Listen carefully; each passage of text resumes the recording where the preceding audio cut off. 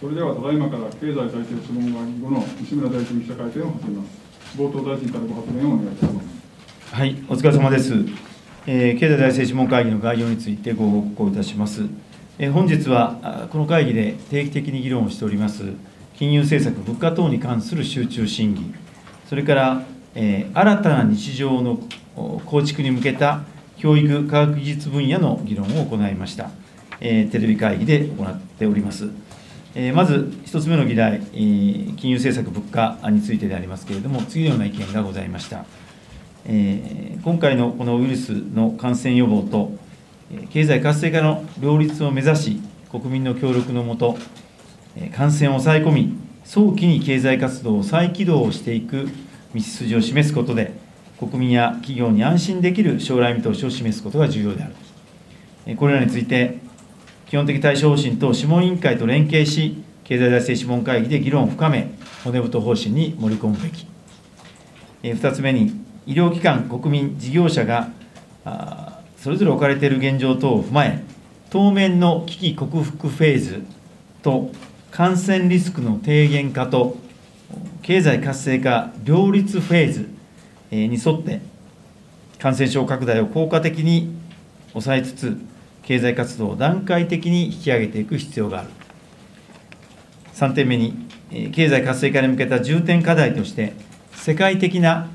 経済活動の深刻な落ち込みと、社会変革の波のもと、感染リスクの少ないスマートライフ社会の構築を進めるべき。そして4点目に、国際的な人の移動等に関する感染症のリスク管理のルールや、国際標準としての検査、モニタリングの体制整備、グローバルの、グローバルな観点からの経済安全保障のルール作り、えこれを進めて、その上で自由で公正な貿易投資、その実現を日本が牽引すべきであるというようなご意見がございました。次に、新たな日常の構築に向けた教育科学技術分野の議論においてでありますけれども、次のような議論がありました。えー一つ目に、今般の感染拡大により、学校を休業せざるを得ない歴史的な事実が続いている中、デジタル化、リモート化を活用し、学びを止めないこと、教育格差を生じさせないこと、広げないこと、これが最重要、最優先課題である、であります。それからデジタル化、リモート化の流れは、教育の在り方に大きな変革をもたらしている。コロナ禍も見据えて、これらを活用した教育の基盤強化を進めるべき。3点目に、今回の感染拡大の下で、創薬、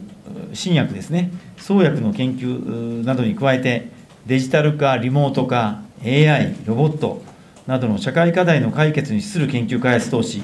これは経済回復と競争力強化の中核となる次期科学技術基本計画で人材育成を含め、優先付けを行い、研究開発投資の拡大に取り組むべきと、えこうした意見がございました。え総理からの締めくくり発言はお聞きいただいたとおりでありますが、え本日、私からですね、えー次のような発言をいたしました。えー今回のコロナ対策に取り組む中でですね、えー何点かあそれを申し上げたんですけども、1つ目に、え保健所がですね、感染者の数を報告するのに、手書きで、ファックスで、えそれを行っていたということ、それから2点目に、えマイナンバーカードで、えー今回定額、特別定額給付金のオンライン申請を認めているわけですけれども、えーこれを持ってても暗証番号を忘れている人はですね、それを変更する場合、あるいはそれを新たに何かこう設定をする場合ですね、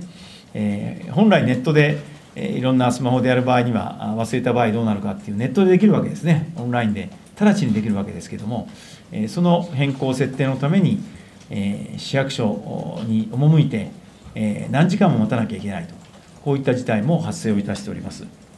それから3点目に、えーいわゆる無利子無担保の融資でありますけれども、えー日本高校、大変頑張ってくれております、えー休日も返上して、また人事も、本当は4月移動になるのを止めてですね、えー頑張ってくれております。それでも、やはり殺到、申し込みが殺到しですね、え混雑をしている中で、え何日もかかるケースも言われております。えオンラインで申請ができたり、あるいは AI が審査をしたり、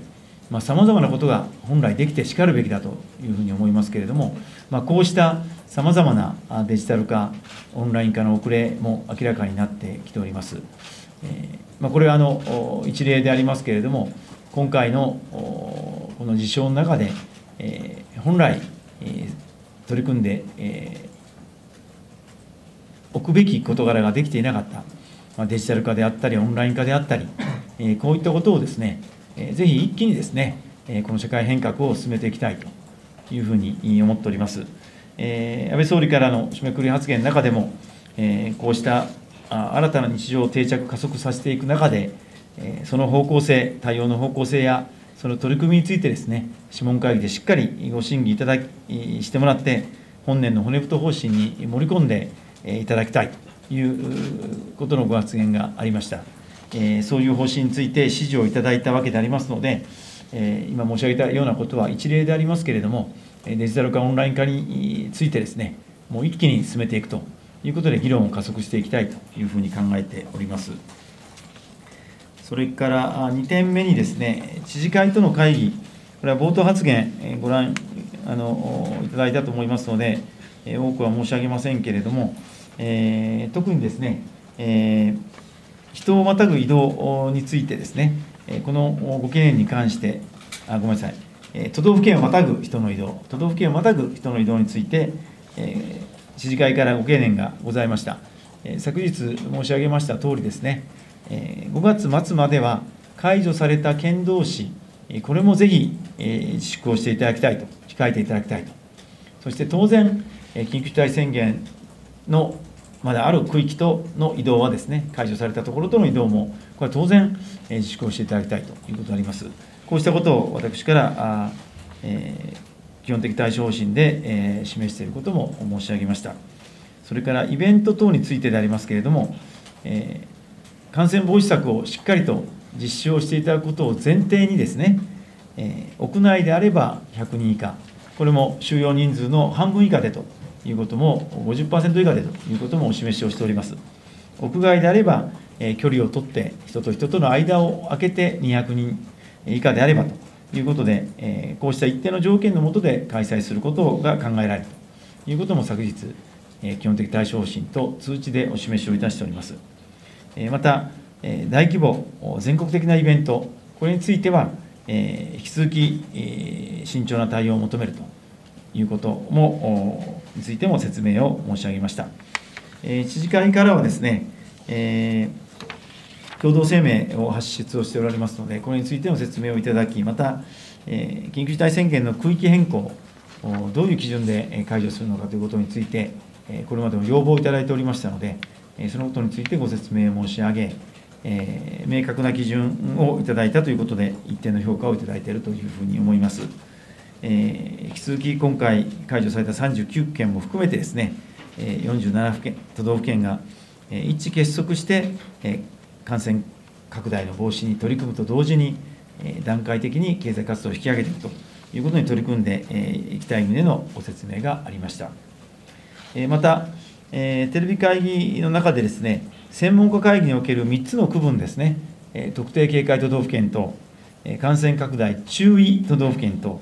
え、3つ目が感染観察都道府県、この3つの違いがよく分かりにくいということで、えそのことについては、私から説明を申し上げました。え基本的対処方針に示したえ、地域区分との関係も含めてご説明をいたしました。まあ、お分かりになると思いますけれども、えー、特定都道特定警戒都道府県というのは、今、緊急事態宣言が引き続き、えー、対象となっている、えー、都道府県です。そして、えー、観察、都道府県ですね、感染観察都道府県という3番目の専門家会議が示した3番目のカテゴリーは、緊急事態宣言が外れた39の都道府県ということで一致をしております。ただ、39県の中から感染が拡大してくる、来た場合、特に再指定をする基準の半分ぐらいに来たようなところがあればですね、信号でいう緑から黄色に変わるということで、これが注意都道府県ということで2番目のカテゴリーになるわけですけれども、今はこれがあるわけではないということで、昨日も専門家会議のからも記者会見でも説明があったと思います。まあ、こうしたカテゴリーについてご説明をいたしました。え、いずれにしましても、え、全くゼロにするのにはまだ時間がかかります。えー、この大きな流行をまずは収束させてですね、その後、小さな流行が起こることはあり得るわけですけれども、えー、それに対して連携してしっかりと取り組んでいこうと、大きな流行にならないように取り組んでいこうということで、連携を確認させていただいたところであります。えー、私から以上です。それでは質疑に移ります。ご質問のある方は挙手のための指名をお伝してからご質問をお願いいたします。谷さん、日経さん。日経新聞の平野です。今日の諮問会議と、えー、経済学者の先生方が新たに加わったコロナの諮問委員会と、え、具体的にどのように連携して経済活動の引き上げプランを練っていくのか、もう少しイメージを教えてください。それから、えー、全日本型社会保障検討会議もあの2月から開かれず、諮問会議での議論もコロナ対応でやや遅れ気味かと思います。例年骨太方針は6月頃にまとめていますが、今年の取りまとめの見通しについて教えてください。はいえーと、まずあの感染予防と経済活性化の両立ですけれども、まさにあの私に与えられた責任がこの2つであります。えー、国民の皆さんの生命、健康を守っていくことと、このウイルス感染症から守っていくこと、それから合わせて、えー、皆さんの暮らし、生活を守っていくこと。経済をしっかりと立て直していくこと、この2つを私に当てられた課題だというふうに考えています。えそしてあのコロナ対策本部、そして、えー、諮問委員会ですね、えー、基本的対処方針と諮問委員会、このさまざまな検討と経済財政諮問会議を中心としてさまざまな民間議員のご提案をいただきながら、私どもの経済担当の部局と連携をしながらですね、この2つをしっかりと実現をしていくということだと思ってます。その連携をより強化をしていくためにですね、竹森さんにですね、基本的対処方針と諮問委員会のメンバーにも入っていただいて、橋渡しをお願いをしているところでありますが、えー、両方の視点を持って私自身が取り組まなきゃいけないということであります。対策本部の本部長であり、また諮問会議の議長は安倍総理でありますので、安倍総理の下で担当大臣としてですね、この2つ、国民の皆さんの生命、健康、このウイルスからしっかりとお守りすることと、そして経済を立て直し、皆さんの生活、暮らし、雇用を守っていくこと、事業を継続できるようにしていくこと、この2つをしっかりと実現をしていきたいというふうに考えています。それから、えー、取りまとめのタイミングなどについてでありますけれども、まさに今、この感染症の感染拡大を何としても、特にこの大きな流行をまずは収束させるということで全力を挙げているところであります。えー、政府全体として骨太方針をいつ決定するかも含めてですね、えー、総理や、えー、与党ともよく相談をしなきゃいけないというふうに考えているところであります。え社会保障改革の進め方もその中で、え検討していきたいというふうに考えておりますが、えま会議については、えー、ぜひタイミング見ながら開催をしてですね、議論は進めていきたいと。全世代型社会保障改革もですね、これは日本の将来にとっては大事な視点ですので、しっかりと議論を進めていきたいというふうに考えているところであります。その上で、今回、例えば海外の有名な経済学者からですね、えー、高齢者はリスクが高いから、えー、まあ、その方の言葉は隔離という言葉を使ってるんじゃないかと思いますけれども、えー、やや、え実社会からリスクの高い人をそういう形で話してですね、えすることが、え死亡者の数を減らすことにつながるといったような提案を提言がなされているわけであります。あの日本は、ね、高齢者の皆さんにも元気な高齢者の皆さん多いですから、ぜひ、え引き続き、え70歳まで、あるいは元気な方は75歳、こう頑張っていただきながら、えそして、ま年金の受給年齢もこう引き上げていくと、これは個人個人の選択でですね、え選べるというふうにしていく方針で、えありますが、えーしかし一方でリスクはありますので、え例えば今回、多くの人が、えテレワークとかリモート化を経験する中で、え例えば高齢者の方であってもですね、え働いて、働きたいと。自分は元気だからもっと社会と関わってやっていきたいんだと。いう方がそういったテレワークとかリモート化の中で活動が続けていけるような環境まあ、そうは言ってもなかなかパソコンなんか、えー、よくわからないとかそういった方もおられると思いますし、まあ、新たにこのテレワークのさまざまな仕組みについても、よく使い方がわからないという方もおられるかもしれません。そういった中で、そういった方々が使いやすい環境を作っていくことも大事なことだと思っております。まあ、そういった、えー、自宅で活動できるリモート化とか、今回、オンライン診療もですね、えー、認めるようになっておりますので、こういったことで、まあ、高齢者の方にとって、えー、引き続き元気で活躍をしてもらいたいと思っておりますけれども、リスクを減らす形で、え、感染リスクを減らし減らすような中で活動していただく、そういった環境も考えていかなきゃいけないのかな、課題の一つかなというふうに考えているところです。他にございますでしょうか、ニコニコどうぞ。ニコニコ七尾です。よろしくお願いします。あの三菱 UFJ のフィナンシャルグループがですね、あのアンケート調査に協力してもらう形で、えおよそ5000人のアルバイトを募集してですね、大学生の生活費を支援するという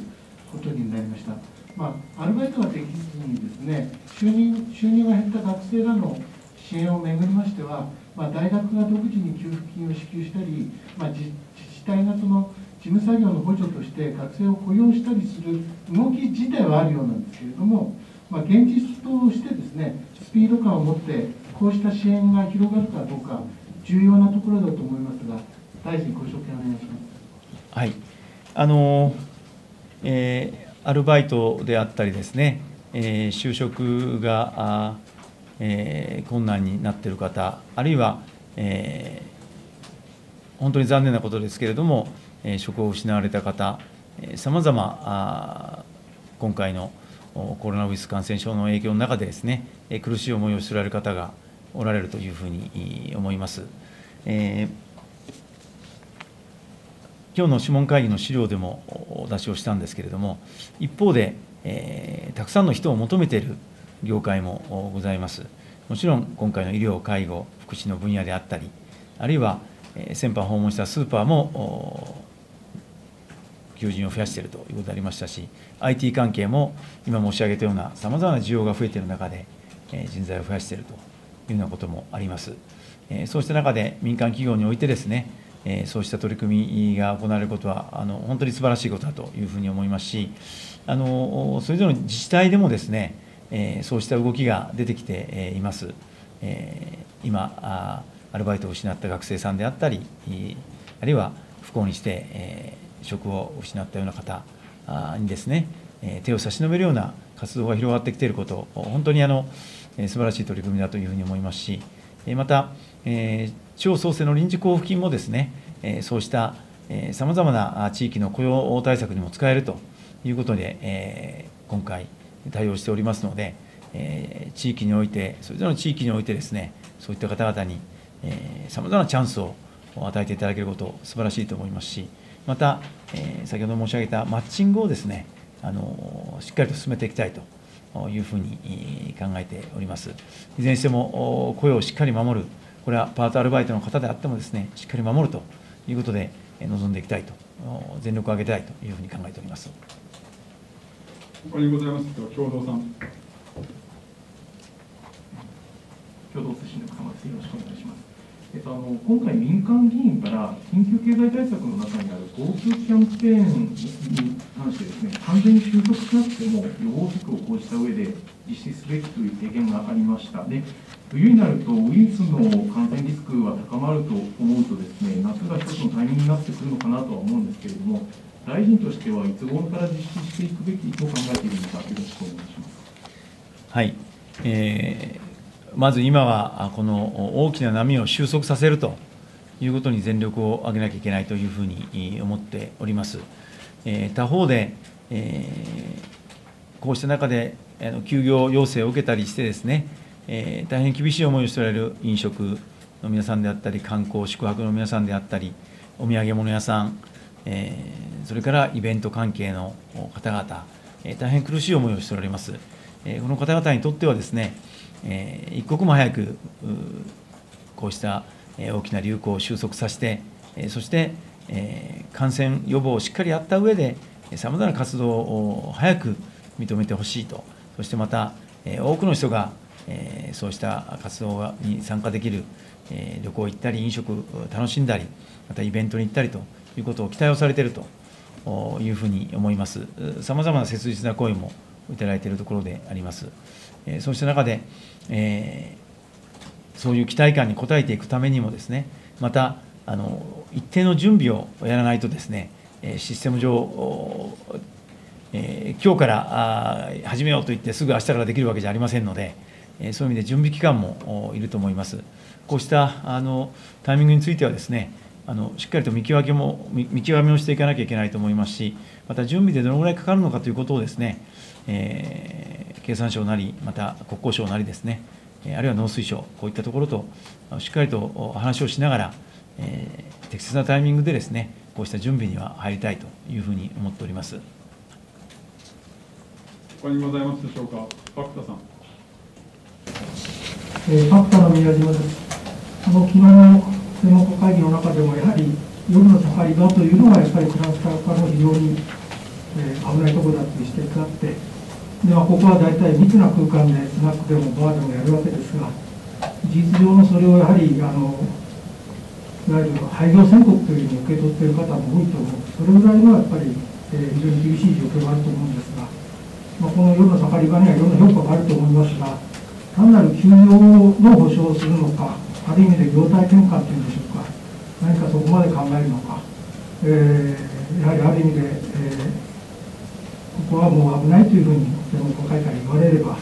それは実情のやっぱり廃業積極に近いものがあると思うんですが、えー、その辺をどうお考えなのか伺いたいです。はいあの休業要請、えー、があったりですね、そしてまた自粛、国民の皆さんにも外出自粛をしている中で、えー、大変厳しい状況にあるだと思います。しかし一方で、これまで私たちの生活、まあ、社会の中でですね、えー、潤いを与えてくれたり、えー、多くの、まあ、サラリーマンの人たちにとっては、えー、ストレス解消の場面になったり、えー、気分転換の場面になったり、えー、社会にとってさまざまなあの潤いを与えてくれてて、えー、くれてるんだろうというふうに思います。そうした中で、えー、本当に厳しい思いをしておられる事業者の皆さんがたくさんおられると。いうことは、本当に切実な声を聞いているところであります。そうした中で、あの一つにはあの家賃など大変だということで、えー、持続化給付金、この200万円、100万円の給付を今、急いでいるところであります。えー、70万件からの申請があってえ、そして、えー、今、給付を急いでいるところでありますけれども、えー、こうしたものを活用していただきながら、また、えー、従業員の方には、えー、雇用調整助成金、これはパート、アルバイトの方も使えますし、えそしてまた、え手続きも迅速化して簡素化してやろうということで、さらにこれもやりたいと思ってます。えさらには、昨日総理から表明がありましたように、従業員の方から申請できるような仕組みも作ろうということもあります。そうしたさまざまなあの支援策を講じながらですね、えー、なんとか踏ん張っていただきたいというふうに思っております。え、今回、家賃についても与党からも提言をいただいておりますので、与党の提案は、月額上限50万円、あるいは25万円という提案もいただいておりますので、そうしたことを踏まえながら、検討を急いでいるところであります。二次補正の指示がございましたので、その中に盛り込んでいく予定にしております。そういった施策を最大限活用していただいてですね、なんとか踏ん張っていただいて、えー、そして、えーまあ、さらに、えー、必要な施策が何かできることはないのかということは、応援できることはないのかということは、特にあのこれだけではなかなか厳しいかもしれないライブハウスとかカラオケボックスとかですね、スポーツジムの方々ですね、えー、非常に厳しい状況に置かれてますので、えー、それぞれ、えー、私は世の中に本当に、えー、潤いを与えてくれたり、あるいは心を豊かにしてくれたり、あるいは健康増進のために、健康維持のために、えそれぞれ必要なあ施設であるというふうに思いますので、えー、なんとか踏ん張っていただきたいと思いますし、さらに何かできないのかですね、これぜひ足らないところは応援できないのかということを常に考えていきたいというふうに思います。今、それぞれの業種で、えー、ガイドラインも作成をしていただいております。えー、密にならないように、さまざまな工夫をしていただきながら、えー、営業の継続をしていただけるような、えー、そんな応援もしていきたいというふうに思っております。えー、今はまだですね、この大きな流行が止まっておりませんので、さまざまな自粛なりをお願いをしているところでありますけれども、ぜひ踏ん張っていただいてですね、えー、私の立場でも全力で応援をしていきたいというふうに考えています。他にございますでしょうか、梅助さん。新型コロナの対策の関係についてお聞きしたいんですけれども、東京都の新規感染者数が今日は9人宣言出されて初めて10位を下回ったという、この数字、えー、政府としてどう受け止めているのか、今後の見通しも含めて、えー、ありましたらお願いいたします。はいえー、っとまあ、一桁になったということはあの、本当に嬉しいことだと思います。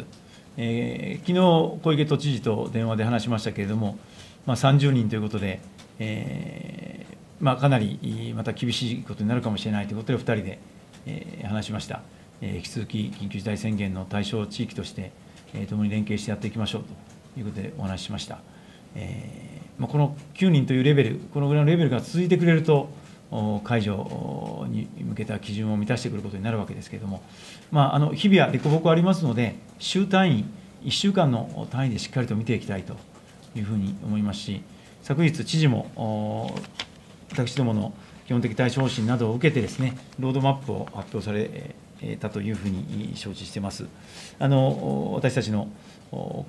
表した基準、あるいは、えー、考え方、基本的対処方針、えー、これを踏まえて作っていただいております。あのしっかりと連携してですね、この大きな収束、大きな流行をまずは収束させるということで、ともに連携して対応していきたいというふうに考えています。次のでございます、今、挙手されている方でお願いいたします。IWJ さん。ありがとうございます。えー、インターネット報道メディア IWJ の浜本と言います。よろしくお願いします。コロナに関する、えー、政策の方向性について、えー、一つ質問いたします。えー、九州大学の小田垣隆名誉教授の、えー、研究報告というのがありまして、その研究報告によると、現在の検査数のまま、え政府が国民に求めている8割の行動自粛を行った場合、新規感染者が10分の1になるのに23日かかるのに対して、検査数を2倍にすれば、5割の行動自粛でも14日で10分の1になり、検査数を4倍にすれば、8日で10分の1になるとのことです。この結果が示すのは、国民の行動自粛よりも政府による検査、隔離政策の各種の方が対策として有効であるということです。えー、専門家会議は5月4日の会見で、検査に現れない感染者が市中に20倍から30倍いるだろうと認めておられます。今後は保証なき自粛が続くと、6月には倒産ラッシュという予想がコミストの中からも出ています。検査数と隔離施設を同時に増やすことに政策転換をすべきではないでしょうか。お考えをお聞かせください。はいえー、とまずあの、この試算あのの根拠とか内容については、え、詳しく承知をしておりませんので、え、このことについてのコメントは控えたいと思いますが、えー、いずれにしても検査数は増やしていかなきゃいけないということは、あこれはもう間違いありませんし、そういった方針で臨んでいます。えー、必要とされている方がですね、えー、迅速に PCR の検査を受けれる体制、この構築を急いで体制を作っていかなきゃいけないというふうに考えているところです。あの検査数が少なすぎるんではないかということについてはですね、これまでもお話してますけれども、まあ、確かに諸外国に比べて少ないですけれども、えー、繰り返し、これまで申し上げたことと繰り返しになりますけれども、えー、SARS とか MERS とか経験してない中で、PCR の検査体制を他の国のようにしっかりとこう整備してきたわけではありませんので、そうした中で限られたこの資源、リソースをですね、重症化するリスクのある人に、まずは集中して検査を行ってきたということであります。その結果でもあり、また合わせて日本は世界に比べて人口当たりの CT ですね、CT のこの機械、機器が入ってる、検査機が入ってる割合も圧倒的に多いんで、肺炎をきちんと見逃さずに対応できているという、このことからですね、えー、人口当たりの死亡者数は非常に少ない結果になっています。これはあの医療現場の皆さん方が本当に昼夜を分かたず努力されたおかげだと思ってますし、えー、そういった意味で、え、これまでは一定の成果はあったんだと思ってます。他方、えー、フェーズが変わってきてます。え市中感染の割合も増えてますし、えそして医師が必要だと言って、え連絡を取っても何日も待たされるというケースも出てきてます。えこれはもうあってはならないことだと思いますので、え必要と判断された方が迅速に検査を受けれる体制をですね、これは一日も早く構築をしていきたいと思ってます。これは保育所保健所の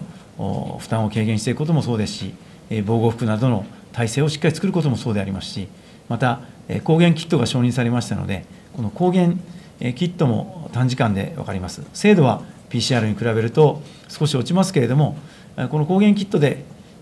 短時間で30分ぐらいでえもし陽性だと分かれば PCR も陽性になりますので、そういう意味ではこれも活用していくことも大事だと思ってます。そういう意味で、えー、その試算にはあのちょっと直接私、承知してないんで、えまた見ておきたいと思いますけれども、あのいずれにしても検査体制をしっかり整備していきたいというふうに考えています。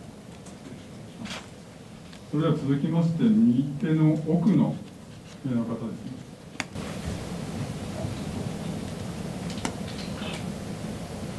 広告新聞社の作一と言います、えっと、昨日の緊急事態宣言の一部解除について伺います。えっと、石川県の解除を受けて、えっと、県民からはあ政府の判断を意外と受け止める声もあります。意外意外に？あ意外に受け止める声もあります。で、えっとけえっと、昨日の会見でも大臣がおっしゃったように、あの感染経路不明者がほぼいないことと、えー、病床が確保されていることが主な解除の理由ということですけれども、まあ、そのあたりあの、県出身の岡田官房副長官官邸にいますが、えっと、そのあたりと緊密なやり取りがあって、解除の判断に至ったのでしょうか。えっと、大臣ご自身もあの石川県じゃゆかりがおありかと思いますが、その点をお聞かせください。はい。えーまあ、これはの知事自身が認めておられますけれども、えー、当初、金沢にどんどん遊びに来てくださいというような趣旨でご発言がされていたと承知してます。えーその後、それを改められたということも伺ってます。やはり大都市部、東京を中心としてですね、そうした行き来がですね、感染を広げたんではないかというふうに思います。他方ですね、ご指摘のように、えー、あの特定の病院でですね、院内感染が広がっております。したがって、えー、感染経路不明の方は非常に少なくてですね、えー、しっかりとその感染経路を終えているということ、それからあ、まあ、一定の落ち着きを減少してきているという新感染者がですね、落ち着きを見せていること、それからもう一点、私が心配していたのは、医療体制でありまして、えー、病床をしっかり確保できているのかと。いうことで、え、このことについては、私から、え、岡田副長官にはですね、え、これは本当にできてるんですかということは申し上げました。で岡田さん、岡田副長官から、え、県の方ともやり取りをして、え、その後、しっかり確保できているということが確認できましたので、え、その点についてはですね、えまあ、そういったこと、そういうやり取りは岡田さんとはやりました。え、私は非常に医療の体制が心配だということを申し上げてきました。えーで結果として医療も確保できているということを確認できましたし、病床を確保できていると確認できましたし、しっかりと終えているということ、そしてクラスターとして、えー、特定のところで増えているということなどですね、これはの最終的には専門家の皆さんにそういったご説明をしてですね、理解をいただいたというか、専門家の皆さんも、え解除することに賛同していただいたということであります。それでは次が最後の質問になります。毎日新聞さん。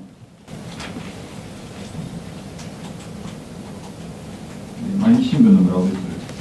えー、いただいた資料のあの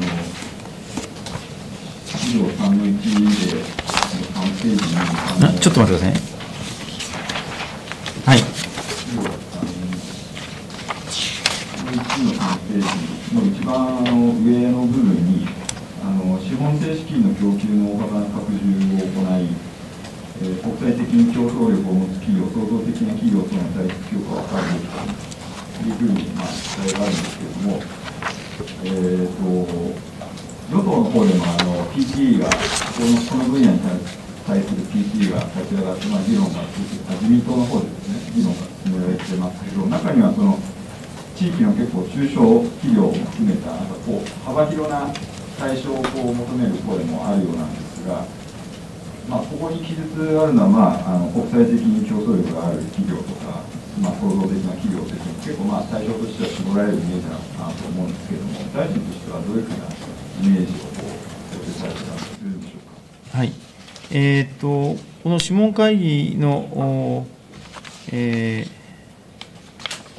このペーパーはですね、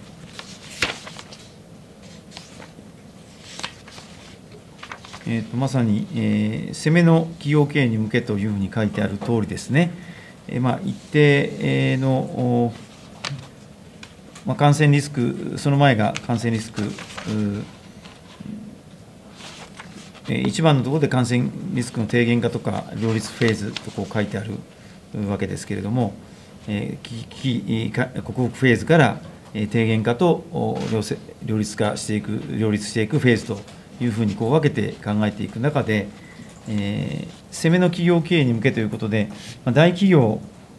においてもですね、えー、今回、相当影響は受けるというふうに思います、現に影響を受けています。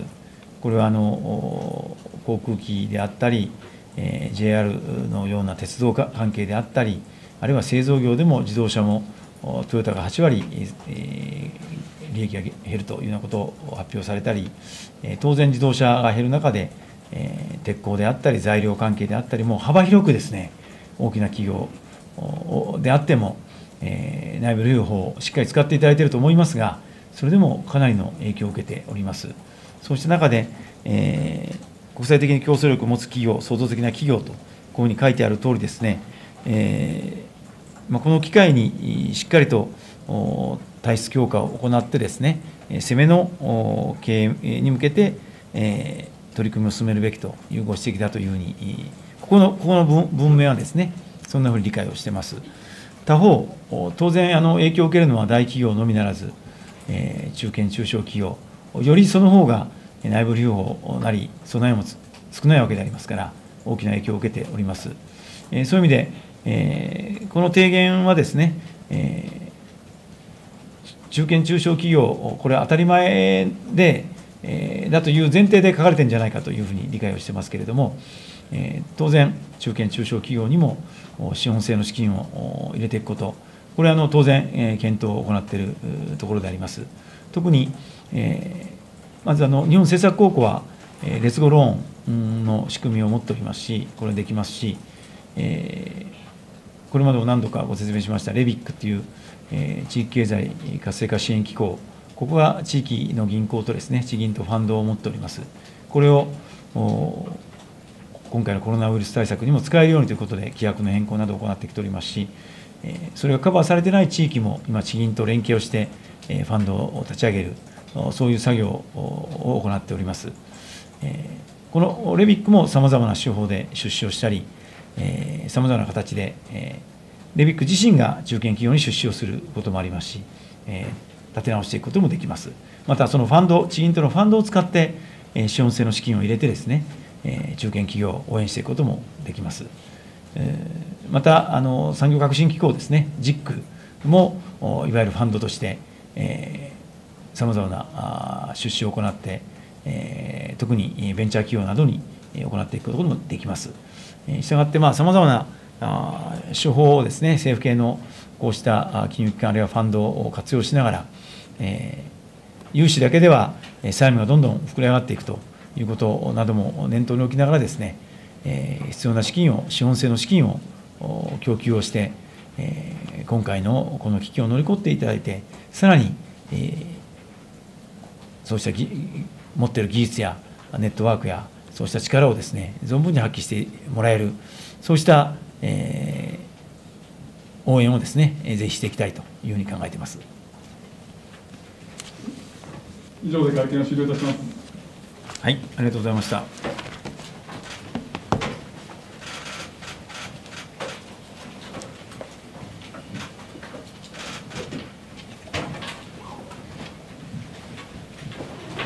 続きまして、事務方からの補足ブリーフィングがございます。カメラの撤収をお願いいたします。